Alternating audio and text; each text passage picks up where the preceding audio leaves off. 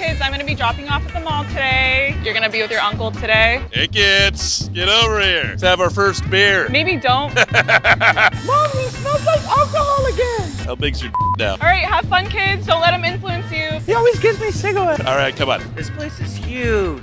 I'm gonna sit under the escalator and look up girls' skirt. Yeah, boys, you go do that. I'm gonna spit on some of these panties in here. You smell like my daddy's burps. Look at her. It's a sweet little number, huh? Let's sign up to win these cars. It says 18 and over, but we still could do it. I think it. I wanna spit on it. I'm spitting on people. Bit on that helpless grandma. Bid on that person's business that's failing. I accidentally actually spit in real life. I'm f. I think I'm addicted. You got that enough in there? Where the f are those kids? No, it's Legos. Legos for babies.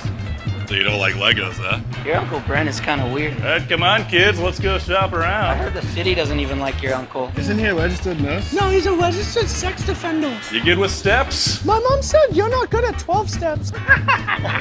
You guys don't like that, do you? They should have a store called these. Whoa. This is the coolest place in the world. Am I gonna go to jail for just standing next to it? I'm gonna look at every single item inside this shop and I'm not even gonna buy one thing. I'm gonna look at the sex toys. Whoa. We shouldn't be in here. Oh, there you kids are.